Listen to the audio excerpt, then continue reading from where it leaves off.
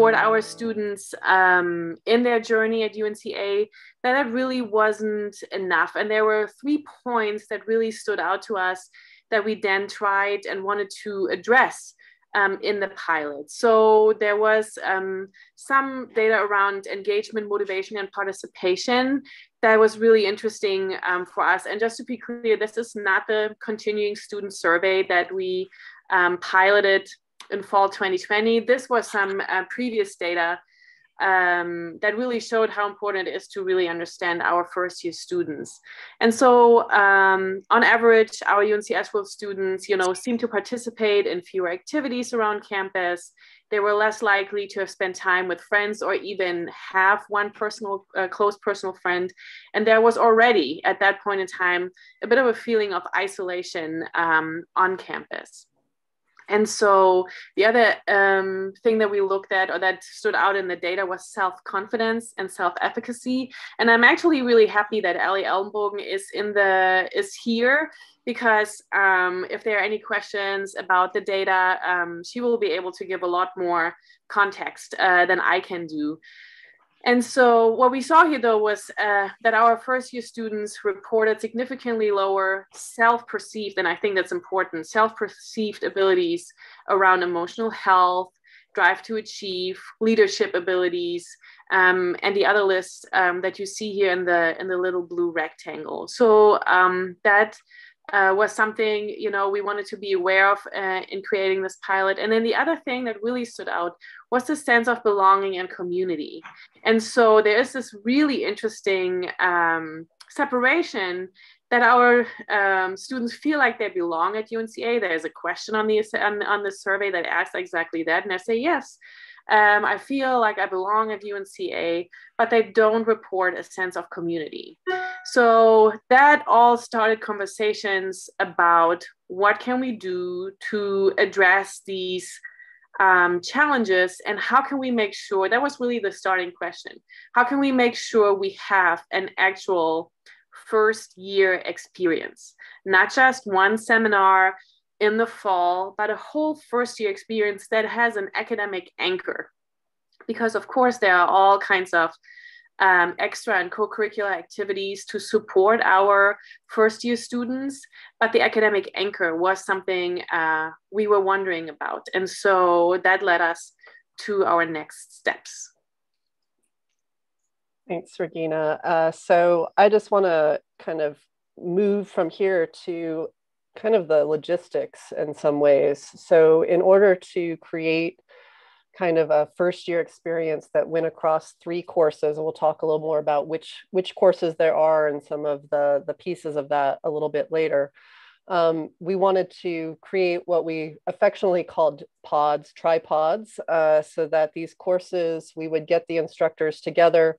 Of course, when we were planning this, pandemic had not hit, so we were actually planning to do this in person so that these classes were scheduled all at the same time and that they could meet with each other in person. But of course, the added layer then is we decided to go ahead with the pilot, even though everyone was going to be online uh, or with some hybrid components. So the online added uh, an interesting and very informative way for us to think about how to create connections across these three courses um, and to support some of the, the things we were seeing in the survey. I also wanted to add that we met with several student affairs people uh, to hear more about student experience on the ground around these issues of self-confidence and leadership abilities and emotional health so we could kind of understand a little more about where the gaps were what, what was disconnecting instead of connecting around those pieces. So there's been a lot of really helpful input along the way.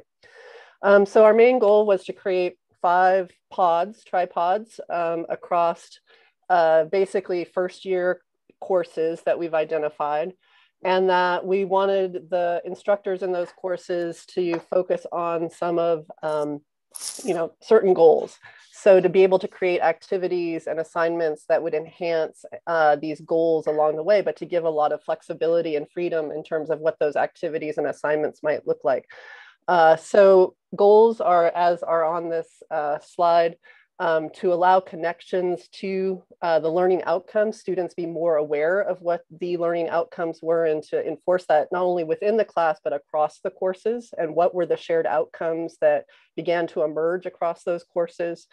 Uh, we also wanted to see connections between students, student to students, peer to peer, um, as well as outside of the classroom because the student surveys often say they are really connected to faculty. They see faculty as good resources, but don't always see other students as good resources. So we wanted to enhance that a bit and create those learning communities. Um, we also wanted to provide connection to liberal arts and ideas about the liberal arts, as well as context outside, including work environments, career paths, other ways that they could begin to transfer the knowledge, not only to other courses, but to other environments. Uh, and also, of course, to really understand and provide time for transition issues that weren't just in the first year seminar, but could be part of the other first year classes. And that's a culture shift to begin for those classes and those faculty to really see themselves as part of that transition work, even though I think some have already been doing that, but to intentionally attend to that across those three courses. So those are some of the, the goals we had. Um, I also just wanted to add that some of the student learning outcomes that we asked people to consider or that emerged out of the conversations of faculty across these courses, that people were really committed to asking productive, helping students ask productive questions, to pay attention to detail, uh, making the connections in the ways that I've elaborated on a bit, engaging in reflection as part of those connection uh, connections that they're making and to communicate effectively. So when we get to um, a little bit later, we can explain how some of the assignments uh, probably address some of these pieces, but just to kind of give you the overview. I'm gonna hand this over to Jessica now. Thank you, Kate. Um, so these are the three courses um, that kind of make up the academic core of the first year experience. Obviously, as Regine said, there are other elements of, of students' first year experience on campus, residential life, um, all, all sorts of things. Um, but this was kind of our focus for the pilot were these three courses, um, FYS 178, Lang 120, and Humanities 124. Um, these are classes that most first time first year students are going to take. Obviously some come in with some ap credit some come in with some transfer credit but it's rare that a first time first year student is going to be exempt from all of these. So this seemed like a good place to start. Um, so um, since we started thinking about these as kind of the, the core academic first year experience courses, we've done a little bit of shifting in terms of just advising and talk the way we talk to students about these courses. Um, students are now allowed to take a first year seminar class uh, 178 in either fall or spring, just to add a little bit of flexibility, a little bit more choice for students. Um, also, we recommend, uh, strongly recommend that they take at least one of these three courses in their first, their fall semester, their first year, um, so that they do have, as Regi, as uh, excuse me, as Kate was talking about, they do have a course that's going to help them with through some of those transitional issues and starting to build a sense of community on campus. Um, and then we also strongly recommend that they not take all three in one semester so that they do have that really first year experience, not just first semester experience, right? Um, while there's obviously eh, specific content to each of these courses is very different, um, I think that each one of them has kind of intrinsic um, uh, introductory elements to them right even even before we started envisioning them or thinking of them as first year experience courses um, FYS 178 is obviously an introduction to UNCA, to college life, helping students make that transition between high school and college, introducing campus resources, making sure students are familiar with those and comfortable with those. Lang 120 is really an introduction to college writing, right? Helping students understand that that um, five paragraph literary analysis essay they learned how to write in AP English may not be a one size fits all for all the different kinds of writing they're going to do on campus biology, lab reports, right? Grant writing and economics, whatever that looks like helping them start to make a shift to think about what's going to be effective in what situations.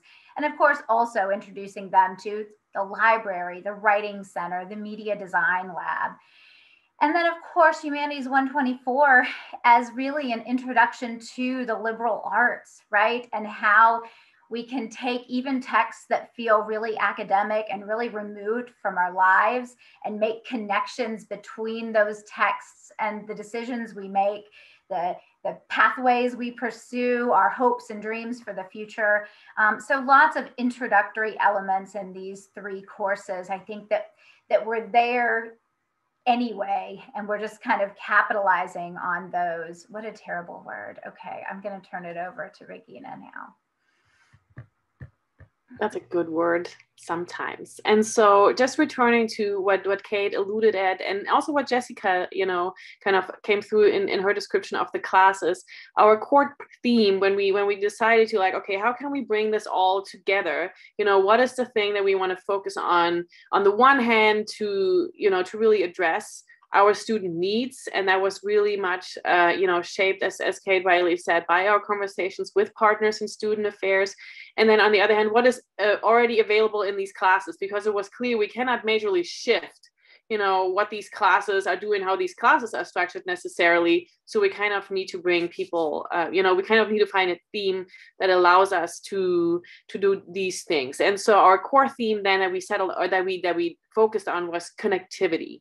And so we tried to think about all the ways uh, in which connectivity could play out right? We wanted to ensure that um, in this pilot we would focus on connection between uh, people so between students uh, but also with uh, you know thinking about um, the relationship between faculty and students, even though that is one that is less that seems to be less uh, a problem um, but mainly like how can we create uh, connections between students and of course then students in different classes right? Not just the immediate class community but all the students who are in one uh, pod. So um, connections between pathways like how can they think uh, and see their way through this curriculum? And how can they connect what they are doing now in a required class that they have to take to what they actually came here for so to speak? Um, and that very much focused uh, around understanding um, how skills across classes connect and can be transferred. Like how can the instruction in writing that I get in Lang, 20, Lang 120 help me write that reflection that I need to do in FYS 178? And how can my conversations uh, around, you know, transition issues or even like self reflection, whatever you do in the FYS, how might that translate to understanding sources and activities in Humanities 124 and really going around, like really trying to articulate and think through as instructors what skills transfer and how can we support our students in making this transfer. We want to make sure that um, there's more connectivity between transition issues and academic skills, like really making sure how some of the transition um, challenges that students face are related to academic success or can be addressed with academic skills. So to make that connection clear.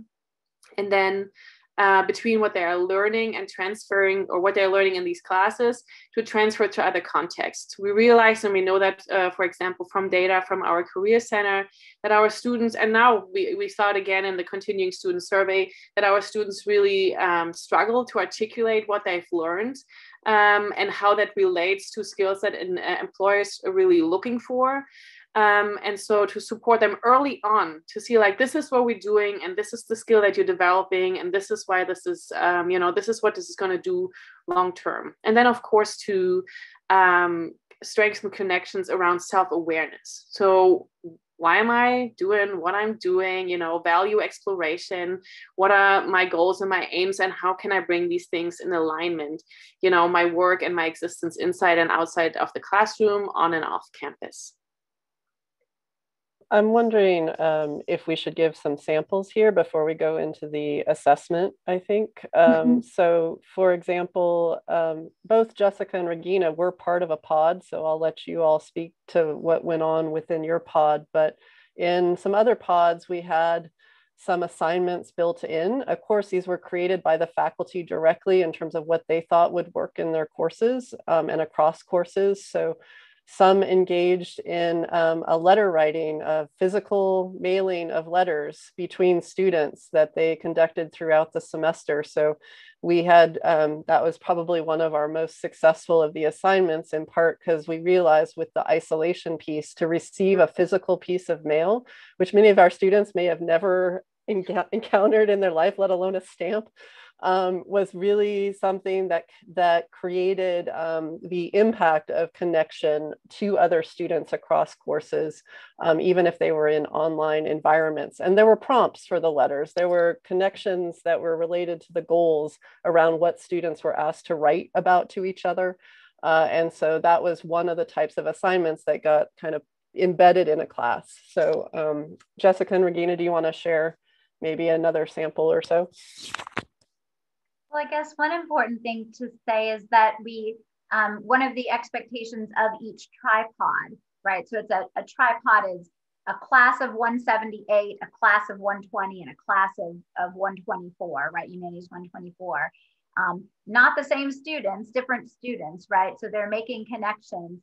Um, and the idea, the expectation was that there would be three shared experiences, right?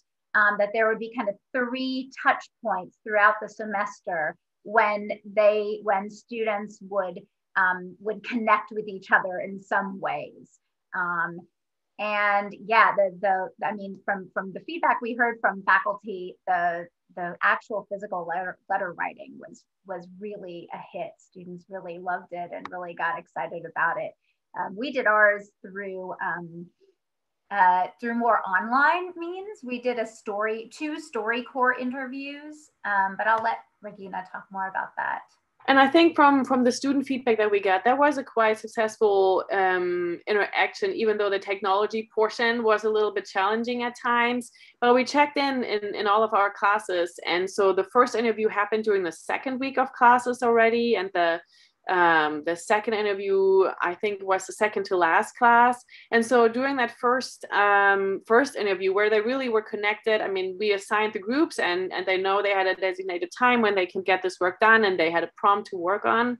But they really met people you know they've they never interacted with before. And it was really interesting to hear students say like you know it was really good to see um, that other students feel the same you know like that first year students are really like we're going two similar ways or it was really exciting to you know see all the connections uh, i have with somebody i never met before. And so or you know some people felt really encouraged by you know we just started talking with each other and it felt so uh, good to see that I can start up a conversation with a stranger. We know one group for sure, you know, that continued and went out for lunch afterwards and stayed continued uh, between interviews. So I think this really sparked um, a lot of a lot of connectivity, exactly the way we imagined it. Yeah, and then our in our tripod, our middle experience was on a website. We had a shared website for the three classes, and students were kind of asked to look over and comment on each kind of work in progress, works in progress that each of those students in different classes were working on. And there again, I think um, one of the most successful, just thinking back to the comments that I read, the student comments, um, the students really loved um, Regine's students writing in 178, where they talked about being college students during a pandemic. Um, and the students were um, just the experiences that they shared um, about, oh my gosh, I feel the same way. And yes, I can totally relate um, those those while they were not kind of in person and and synchronous like the um, like the StoryCorps interview, I think those were really powerful too. Um, at least reading them, they they they felt really meaningful. So hopefully that gives folks some ideas of some of the assignments and activities. And and when we get to the Q and A part here in just a moment, um, if there are other folks in the room, I can't see everyone at the moment that want to chip in about other activities and assignments, or we can we can give more detail about that then.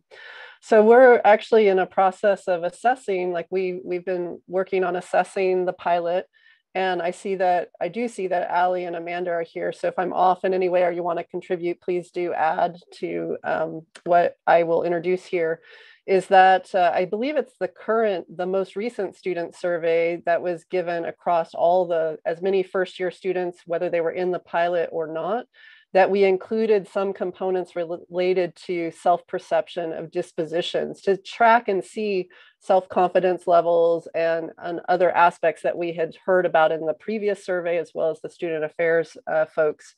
Uh, so that survey, we could pull out the pilot um, kind of pieces to see if there's any significant statistical differences if you were in a pilot or not a pilot pod.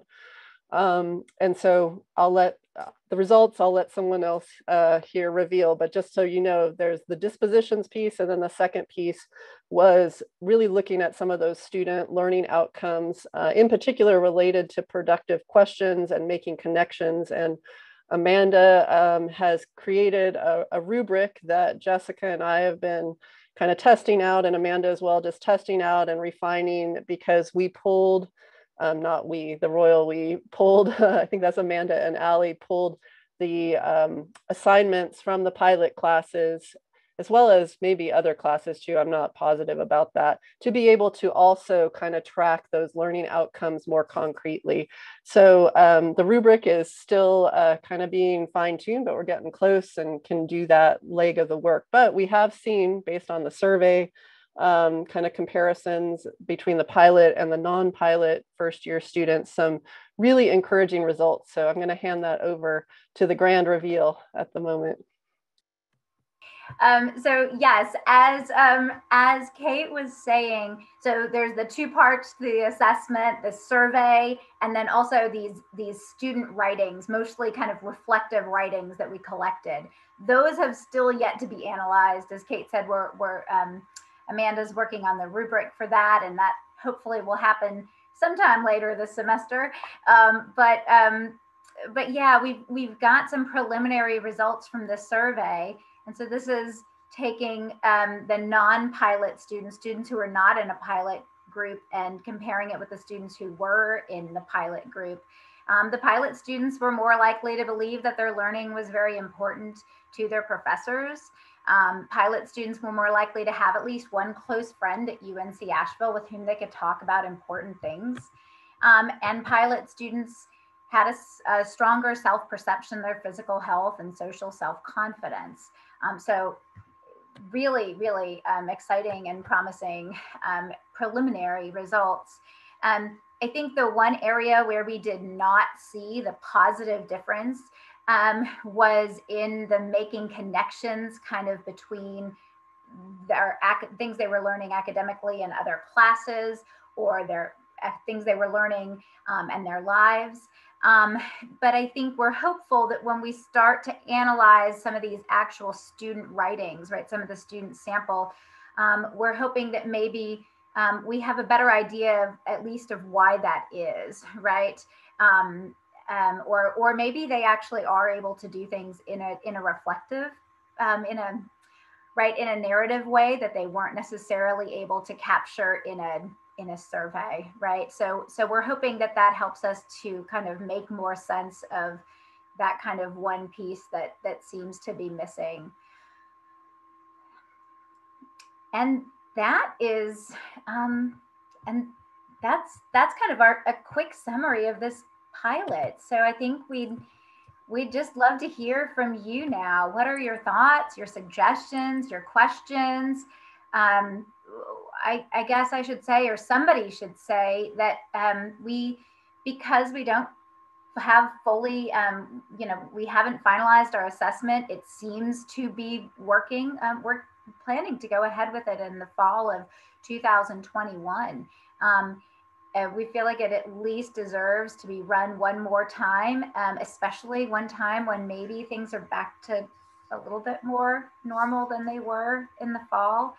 Um, so, um, does look yeah. like Ali has a question or wants to jump in.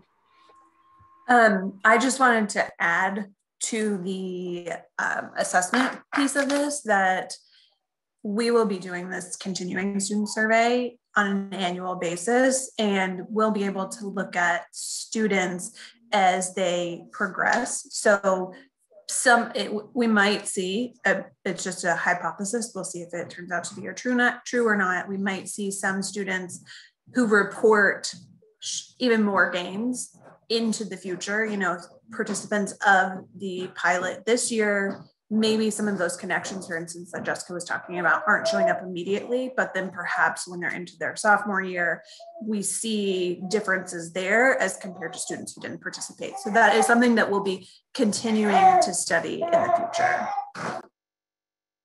Thank you. Thank you. Can I just add one more thing about the data? Please do. I don't want to overplay Jessica's comment about the connections. I think from a measurement standpoint, the stuff you don't care about. But um, the data that we have on connections is very different than the data that we have on everything else. So it's less likely that we'll be able to, to make conclusions off of the data that we had on just the, the pilot classes and the first year experience classes. So I think the fact that we're able to deduce something related to connections, I'm sorry about the background noise, um, something about connections amidst the questions that were asked of everyone tells us more strongly that there is something right? So the questions that we asked of the just the pilot are there's less data there that we can pull from. So i, I think that that can be kind of under oh like not paid as much attention to if that makes sense.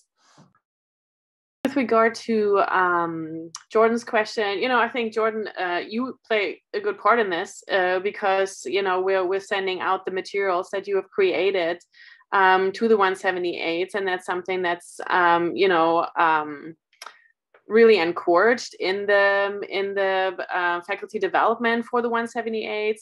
And so I don't know why in the pilot that is stronger. That I don't I really don't don't know exactly what the connection is. Maybe there was more intentionality about you know because there was additional training like there was you know there's there's training for all instructors teaching the 178 but then we had additional and and and more comprehensive training for people in the pilot just because we needed to support and facilitate some other conversations. And so i think there was some other engagement around what do our first year students need you know and what might be areas of um, where they where they need um, particular support and how is you know self-care and physical health connected to academic success. And and so why that is also a little bit part of the the 178 general professional development and we share your materials with every 178 instructor in general maybe there was just some more intentionality in those classes around okay what can we do to to provide support? That would just be a guess at this point. Yes so we had students who were in all three pods and and uh, you know because in the end in the end it's a it's a scheduling thing. And so whenever we you, you you could end up in three different pods because no you couldn't end up in three different pods because nobody should have been in three um, in all three classes. We try to nip that in the bud. So um, but some people were in two different pods you know and that can um, we i don't think we had enough people to see if there's any you know like the more pod the better so to speak. Um, but um, that definitely happened. And it didn't seem to be for a moment we were concerned maybe that it's too much you know will the students have too much engagement so to speak uh, in, the sense of like because there was extra work right? I mean and ideally it would have been integrated but we also know that wasn't necessarily happening in all classes. So there was a moment of a concern where like wow if we are on two pods you know is this just like too much push towards connection where students are turning off but we didn't really see that. We didn't have anybody complain. And be like wow you know all this work. And we encouraged instructors to be really transparent about okay this is what we're doing and this is what you're part of you know and this is why this is integrated in our class or this is why we're doing this activity. And so um yeah no we have no data yet in one way or another. So if two is better or worse we, we don't know it didn't seem to hurt anybody.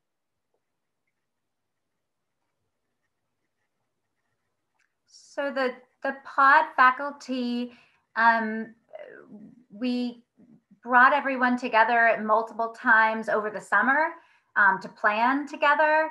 Um, um, I think there was kind of an maybe an initial meeting, maybe in June. You guys help me remember another one um, to finalize plans in August. And I'm sure that most faculty were in communication with each other between June and August. Um, but those were kind of the times that we brought everyone together. And then we also brought everyone in, uh, all the faculty teaching in the pilot together um, twice over the semester as well. Once kind of at the middle of the semester to kind of just check in with each other um, and, and see how everything was going. And then toward the end of the semester as well. And those were opportunities to kind of troubleshoot um, problems that they were having or check in with their pod members to to you know sometimes we get busy in the midst of the semester and it's hard to find that time and so it was i think it was really helpful to have those moments of check in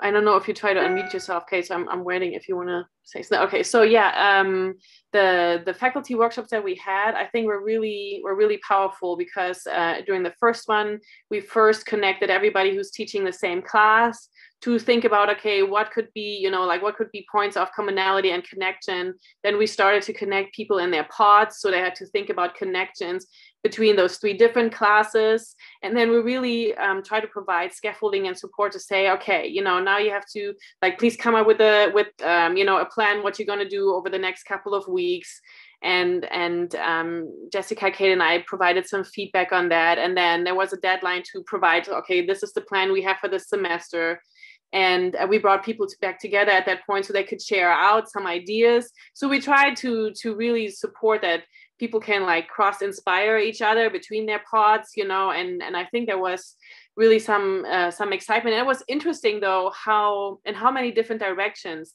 the individual pods took the idea of connectivity you know productive questions effective communication these learning outcomes. That was really interesting um, to see and the check-ins then once classes were on way i think was really were really helpful as well yeah. but in the beginning kate i think uh, by me i think in the beginning we just looked like who is interested in being in the pilot? When are these people teaching? Because it's all about in the beginning you know it's like like you have to juggle logistics and and and people in a way. So we were trying to figure out who wants to participate who could match up with each other and you know where do we need to recruit people? Because we didn't have five cuts together when we started. So we really started then to reach out to people and to pitch this idea of hey you know would you be interested in in participating?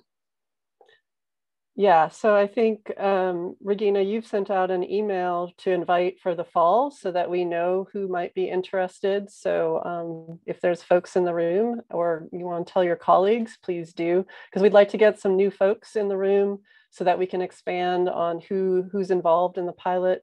Um, I also want to say that I think, Regine, you put together a kind of a Moodle page that had some modules and that included some readings and resources around inclusive pedagogies, how to create online communities, and just certain kinds of support resources as people were building assignments and activities to remind themselves of everyone who's in the room that's going to be in the, the virtual room at the moment that um, those assignments should attend to and, and think about a little more deeply. Um, so yeah, that's what I wanted to add. And Tracy, I don't know if we, um, actually maybe this is a question for Amanda. Do we have samples of, wait, do we have samples of letters that were copied? Because I know students had to take a snapshot, a picture of letters before they sent so that in case the letter never got to the other person, there would be a letter, but it also got sent to the faculty. So I'm imagining we do have some samples of that. Yeah, I think we have samples. And then from what I understand, uh, the, the way this was um, shared, I think it was not gender specific other than, uh, I mean, I guess it's a gender, a letter is a genre in itself. So that was just, you know, send a letter to a fellow student. It was on a specific prompt. Um, and then I don't know if the student who received the letter was, um, you know, if there was a response expected, if that was part of an exchange, if it was maybe more of a, of a one way um, but yes, I think it was more it was more informally, really really focused about connecting students.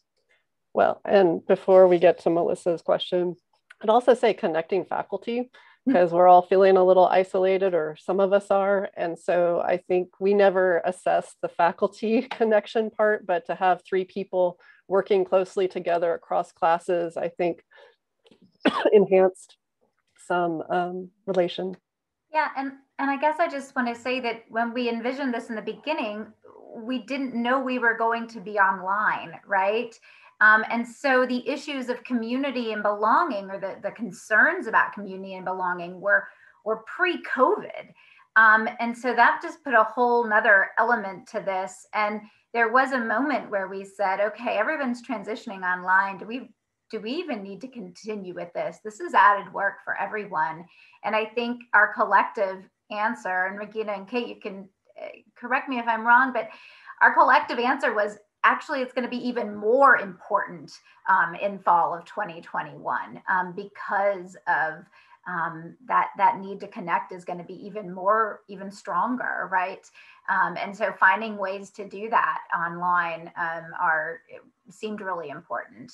Um, and so part of my you know response or my my first initial response to melissa's question about what are we going to do differently next semester i'd love to imagine that there might be an opportunity for for some kind of in-person shared experiences. Now, I don't know. Um, who knows what the future will hold? But I'd I'd love to think that that might be a possibility.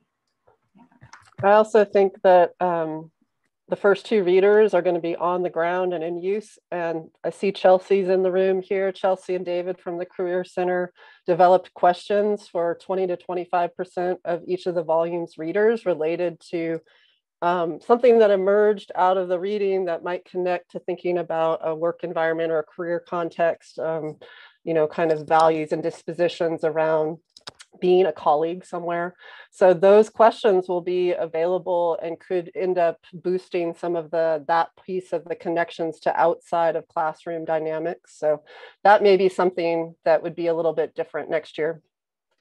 And I think overall, um, in in our faculty support and faculty development, I think we're going to try to really encourage thinking about integrating this work. I think that's what we have seen um, in the pods where where people were most able to integrate um, you know these assignments instead of instead of feeling like okay i kind of need to cover all of this and now i'm adding this so i can attend to this issue that seemed to it also worked but it seems to work a lot better the more integrated it is and build into the flow of the class and the assessment. So I think that's something we're going to encourage more and try to support faculty more to do that for all three classes. That kind of connects with another question in the chat about whether there was a, if if all the if the three classes in the pod were supposed to have a shared theme, they weren't. Um, the way they it was up to each pod how they wanted to structure those shared experiences, right? So you've heard about one pod doing physical letters. Our pod did StoryCorps interviews and kind of um, commenting through website. Another pod did shared readings um, and kind of like shared reading response forums.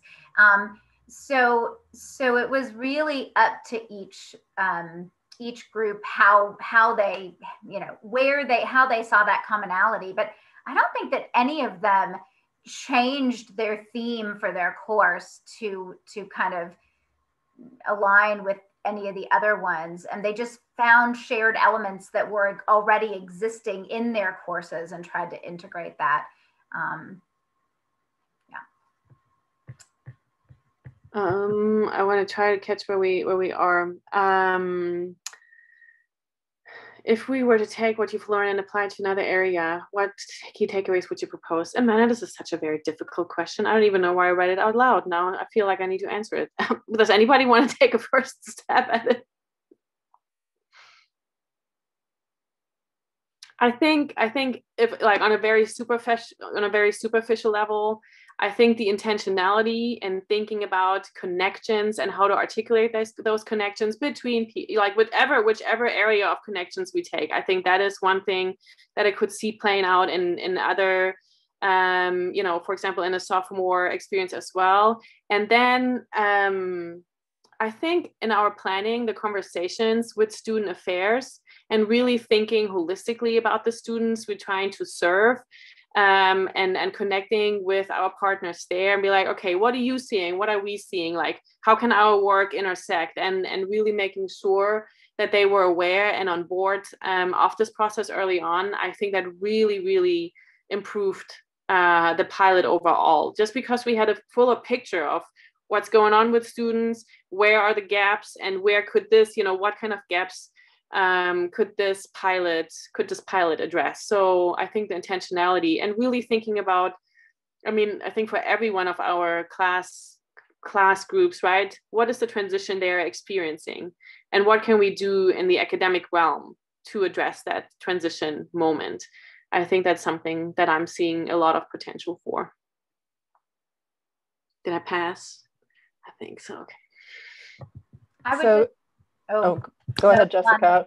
No, I would just also add that I think that it's important to think about why sophomores specifically are feeling unconnected, right? And it's because the first year experience is over, that kind of, you know, the little added support, nurturing. We think of first year students, they need that. And then they're not quite connected with their major yet right? And so i think identifying the root causes for that feel those feelings of disconnect can help us to address the sophomore experience. It's going to look different than i think the the solution for the first year experience right? But it but it's but i think that what we've learned from this can help us identify what the real problem is in other areas um, were you going to address kirk's question kate I was going to give a give a start to that. So um, I think in terms of the, um, the, vertical integration work that started happening in the humanities program, um, I want to give a shout out to Jake who led a block grant that I think Lindy and a few others were part of to think through what are the connections across the humanities courses as they were at the time. Um, actually um, kind of steered us towards really being attentive to skills rather than just the content that was happening across the courses. And so that's actually informed this notion of the horizontal in terms of 124, 120, and 178 is if we're thinking about productive questions, right? That's already shifted a lot of the curriculum work that's gone on within that as well as other courses. And so this kind of integration, um, I think, has been a little more organic in some ways. I also think because 120, you know, 178's just got everything piled on top of them. So to be able to spread some of that work around a little more um, and be able to share best practices around that has been helpful. Um, also, 124 doesn't have a common lecture hour anymore at the moment, which means that there was more time given back to the classes to be attentive to these kinds of assignments and hands-on activities was something that, you know, I kind of see a lot of this pilot work including hands-on activities even if they're online or virtual. So in some ways it, it actually aligns well and i don't think it's an overload. In fact the faculty from 124 found it really enhanced the types of things they were doing. As long as they were able to embed the activities as naturally as possible right? And i think that takes time and practice sometimes and that's why we want to run the pilot again. Um, but i would say that all these pieces are kind of interacting with each other so. And just to add to that, uh, from my conversation um, with the Humanities 124 instructors that I um, had a couple of weeks ago, I think we're now like starting different convers uh, or additional conversations around what does it mean for Humanities 124 to understand itself as a first year experience class, right? I'm going to have another conversation with the Lang 120 faculty, right? What does it mean? Like, how much does it really change the class? How much is already there? And is the change, and, and I think, you know, in many ways, that's a change that has very little to do with content and a lot to do with organization and structure. So that doesn't feel like like overloading, that really feels like shifting and, and refocusing um, a few things. And I think there's also, you know, a benefit of really emphasizing this as the academic first year experience. So we have mainly first year students taking Humanities 124. So it really can be, you know, a class that along uh, Lang 120 and the FYS is setting the stage for them um, as they move forward through the curriculum. So that was um, that was really encouraging, and I look forward to the conversations I'll I'll continue to have with the faculty in Humanities 124 and Lang 120. Yeah, and and I think that, you know, it's definitely shifting the way that we think about these courses, but I think it's an important shift. I think it's a necessary shift. I think we need to support our students where they are. Um, if we're admitting them to the university, um, we need to we need to make sure that they have all the resources to succeed, um, if possible. Um, I wanted to just say, Judy, that I have have have wondered the same in terms of your question about. Um, Judy says regarding the conclusion about the pilot mm-hmm. students more likely to feel that their instructors cared about their learning. Can you tease out whether that's related to the pod experience, more the faculty development? Seems like faculty volunteer for this and undergo the faculty development might be more likely um, to be over about the student about this with the students. Yeah, I've definitely wondered that as well. I will um, just, I think I tell my, I, I, think I, I'm trying to tell myself that it's very much the faculty development. Um, so, you know, like that's just because that makes me feel really good. Um, but I also think there's something to it because I think we've tried to, to have more conversations about what does care look like? Because that's usually something we, we shy away, away from, right? Like this is a classroom and it's rigorous. And so, you know, um, uh, Renuka Hussein and I ran a workshop um, last summer about okay, what does care and rigor? How do these things really connect? Right? They're not mutually exclusive, but they're very much connected to each other. So in the classroom, what does care look like? How do you communicate care? You know, care is an assignment that is accessible to student, is intentional scaffolding that makes sense, is allowing students to be able to understand where this class is going and what will be expected of them four weeks out and not just posting the reading the week before.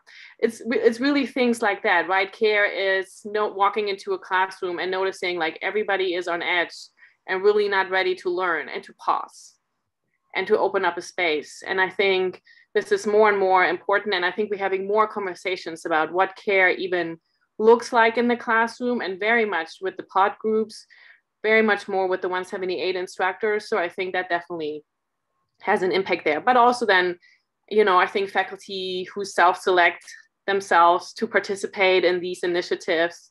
And, you know, I think we at least want to briefly mention the significant number of contingent faculty who decided to participate in this work and to be like, yes, a pilot to serve our students, let's do it. So that was very clearly um, visible in this in this pilot as well. I also want to thank the NEH Cares fund that Melissa helped procure um, because that helped to support this work for the pilot um, because especially it was online, but it was also that intersection of hum- people teaching in humanities related classes, including, of course, the Lang 120 and the FYSs, with some um, flexibility, right? We had a few folks in there who would have been technically in a social science or natural science, but not like the, the mass was from humanities based disciplines. So thank you, Melissa, for getting that money for us. Another way that CARES was really helpful in this whole undertaking. well, and and and I think back to what Regine was saying about, you know, was it the faculty development, et cetera? Yet again, this is a pilot. So the idea here is that we take what we learn from this and and make sure that whatever it is students are getting through this pilot experience, if if it's beneficial, that all of our first year students have access to to to whatever that is right? Whatever whatever it seems like it is that's helpful. And and yet again what we're talking about here is is is a bit of a culture shift right? Um, a shift toward um, rigor that is combined with care um, as Regine so lovely um, and succinctly put it and I just want to echo like Lindy's comment. If you are not able to join the uh, learning circle on re- uh, relationship-rich education, um, you know, like you should definitely consider getting the book. Maybe somebody can put a quick link in there because it is uh, blowing my mind in every possible way. And, you know, I have a running list of 15, 15 things that we need to be doing immediately. Uh, but, you know, just really, I think this is really helpful for our for shifting the ways we want to envision this campus. And clearly, we are in a place where there's room and desire and, and need for thinking what we want UNCA to be like and to feel like uh, for students. So, this book has been really, really helpful in that regard. Thanks, Jordan. I really appreciate that. we could have time for one more question, or we can gift you six minutes to stretch and eat some more lunch and drink some more water before you have to go teach. I just wanted to say thanks for taking the time to share this with us. I mean, it, it's often the case that, you know, we don't even hear about some of these cool things that are being done. So I'm just really glad you were willing to to talk about it and also Amanda to for the Amanda and Ellie, Ellie for your help in assessing it. I think that's all just really wonderful to hear about. Thank you so much. And again, you know, if you are teaching one of these classes next semester and you are interested in participating in the pilot, please let me know. I'm, I'm having a running list, and I think Jessica and Kate and I will get together pretty soon to see, you know, what we can make work once again, juggling logistics and people.